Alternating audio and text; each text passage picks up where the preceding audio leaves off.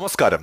അഫ്ഗാനിസ്ഥാനിൽ ഭരണം പിടിച്ചെടുത്തുവെങ്കിലും താലിബാന് കാര്യങ്ങൾ അത്ര എളുപ്പമല്ല എന്നാണ് ഇപ്പോൾ പുറത്തുവരുന്ന റിപ്പോർട്ട്. ആയിരത്തി തൊള്ളായിരത്തി തൊണ്ണൂറുകൾക്ക് ശേഷം നേടിയതുപോലെ ഒരു വലിയ മേൽക്കൈ നേടാൻ ഇത്തവണ അഫ്ഗാനിസ്ഥാനിൽ താലിബാന് സാധിക്കുകയില്ല എന്നാണ് റിപ്പോർട്ടുകൾ. താലിബാനെതിരെ എന്തു വില കൊടുത്തും പോരാടുമെന്ന് പ്രഖ്യാപിച്ച് പഞ്ചഷിർ ഉൾപ്പെടെയുള്ള മേഖലയിലെ പലരും രംഗത്ത് വരുമ്പോൾ താലിബാൻ നന്നായി വിയർക്കുക തന്നെ ചെയ്യും. പഞ്ചഷിറിലെ വടക്കൻ സഖ്യം ഇതിനോടകം തന്നെ താലിബാനെതിരെ ഒരു യുദ്ധ പ്രഖ്യാപനം തന്നെ നടത്തി നിലയുറപ്പിച്ചിരിക്കുകയാണ്. ഇവരെ നേരിടാൻ താലിബാന്റെ സായുധ സംഘം വടക്കൻ മേഖലയിലേക്ക് പുറപ്പെട്ടുവെങ്കിലും തൽക്കാലം ഒരു ഏറ്റുമുട്ടൽ വേണ്ടെന്ന തീരുമാനമാണ് താലിബാൻ കൈക്കൊണ്ടിരിക്കുന്നത്. സമാധാന ചർച്ചകളിലൂടെ പ്രശ്നം പരിഹരിക്കാമെന്ന താലിബാന്റെ നിലപാട് മാറ്റം ലോകത്തെ ആകെ അമ്പരപ്പിച്ചിട്ടുണ്ട്. എന്നാൽ ഈ രംഗത്തെ വിദഗ്ധരൊക്കെ തന്നെ അഭിപ്രായപ്പെടുന്നത് നേരത്തെ അതായത് തൊണ്ണൂറുകൾക്ക് ശേഷം നടത്തിയൊരു മുന്നേറ്റം ഇനി നടത്തുവാൻ താലിബാന് പരിമിതികൾ ഉണ്ട് എന്നാണ്. അതായത് ഒന്നുകിൽ താലിബാൻ ജനാധിപത്യപരമായ ഒരു ഭരണം നടപ്പിലാക്കേണ്ടി വരും. ജനങ്ങളെ ഒപ്പം നിർത്തിക്കൊണ്ട് അവരുടെ എല്ലാ ആവശ്യങ്ങളും പരിഗണിച്ചുകൊണ്ട് ഒരു ഭരണം മാത്രമേ താലിബാന് നടത്താൻ സാധിക്കുകയുള്ളൂ. അഫ്ഗാനിസ്ഥാനിലേക്ക് അമേരിക്ക എത്തുന്നതുവരെ അതായത് രണ്ടായിരത്തി ഒന്ന് വരെ താലിബാൻ നടത്തി വന്നിരുന്ന കാടൻ ഭരണം ഇനി വിലപ്പോകില്ല എന്ന് തന്നെ കരുതാം.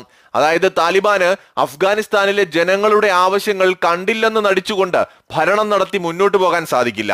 അങ്ങനെ വന്നാൽ ജനങ്ങൾ ശക്തമായ രീതിയിൽ തന്നെ പ്രതിഷേധിക്കുകയും പ്രതികരിക്കുകയും ചെയ്യും. ഒന്നുകിൽ താലിബാൻ ജനാധിപത്യപരമായ ജനങ്ങളെ കൂടി ഒപ്പം നിർത്തിക്കൊണ്ടുള്ള ഒരു ഭരണ സമ്പ്രദായവുമായി മുന്നോട്ട് പോകും. അല്ലെങ്കിൽ ജനങ്ങളുടെ പ്രതിഷേധങ്ങൾക്കൊടുവിൽ താലിബാനിസം എന്നേക്കുമായി അഫ്ഗാനിസ്ഥാനിൽ അസ്തമിക്കപ്പെടും. ഇതാണ് ഇനി സംഭവിക്കാൻ പോകുന്നത്. ഇപ്പോൾ താലിബാന്റെയും വടക്കൻ സഖ്യത്തിന്റെയും സൈനികർ നേർക്കുനേർ നിൽക്കുന്ന സ്ഥിതിയുണ്ട്. ഏതെങ്കിലും തരത്തിൽ ഒരു യുദ്ധം ചെയ്ത് പരാജയപ്പെട്ടാൽ താലിബാൻ അത് രാജ്യവ്യാപകമായി മാത്രമല്ല ലോകരാഷ്ട്രങ്ങൾക്കിടയിലും കനത്ത തിരിച്ചടിയും നാണക്കേടുമാകും. അതുകൊണ്ട് തന്നെ പഞ്ചഷിർ വിഷയത്തിൽ തൽക്കാലം മൗനം പാലിക്കുകയാണ് പാകിസ്ഥാൻ. ഞങ്ങൾ പ്രശ്നങ്ങൾക്കൊന്നുമില്ല ചർച്ചകളിലൂടെ പരിഹരിക്കാമെന്ന നിലപാട് മാറ്റമാണ് താലിബാന്റെ ഭാഗത്തു നിന്ന് ഉണ്ടാവുന്നത്.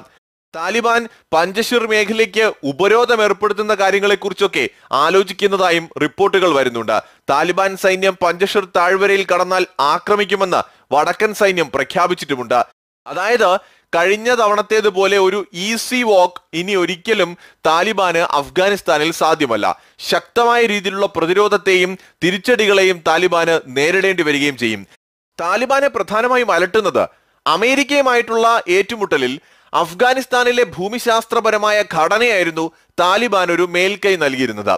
എന്നാൽ അഫ്ഗാനിലെ തന്നെ പൗരന്മാരുമായിട്ട് താലിബാൻ ഏറ്റുമുട്ടുമ്പോൾ അവിടെ ഈ അഡ്വാന്റേജ് അഫ്ഗാനിലെ പൗരന്മാർക്ക് അല്ലെങ്കിൽ താലിബാനെതിരെ പോരാടുന്ന സഖ്യങ്ങൾക്കും ലഭിക്കുമെന്നതാണ് താലിബാനെ ഭയപ്പെടുത്തുന്നത്. അഫ്ഗാനിസ്ഥാനിലെ സൈന്യത്തിന്റെ ഒരു വിഭാഗം പേരെങ്കിലും താലിബാനെ സപ്പോർട്ട് ചെയ്യുന്നവരായിരുന്നു. മറുഭാഗമാണ് ഇപ്പോൾ സഖ്യമായിട്ട് താലിബാനെതിരെ സംഘടിച്ചിരിക്കുന്നത്. അവർക്കൊപ്പം പഞ്ചശീർ മേഖലയിലെ വലിയൊരു വിഭാഗം ജനതയും ഒത്തുചേരുന്നുണ്ട്. ഇത് താലിബാന് കനത്ത വെല്ലുവിളിയാകും. മാത്രമല്ല ലോകരാജ്യങ്ങൾ താജിക്കിസ്ഥാൻ ഉൾപ്പെടെയുള്ള രാജ്യങ്ങളുമായി ബന്ധപ്പെടുത്തി ആ മേഖലകളിലൂടെ പഞ്ചശീർ മേഖലയിലുള്ളവർക്ക് ആവശ്യമായ ആയുധങ്ങൾ കൂടി എത്തിച്ചു നൽകിയാൽ താലിബാന് കാര്യങ്ങൾ കൂടുതൽ പ്രതിസന്ധിയിലേക്ക് പോകുമെന്ന് നന്നായി അറിയാം. അതുകൊണ്ട് തന്നെ ഈ പ്രശ്നം രമ്യമായി പരിഹരിക്കാനുള്ള ശ്രമമാണ് താലിബാൻ നടത്തിവരുന്നത് എന്നിരുന്നാലും അധിക നാൾ ഈ രീതിയിൽ താലിബാന് മുന്നോട്ട് പോകാൻ കഴിയില്ല എന്ന് തന്നെയാണ് സൂചന.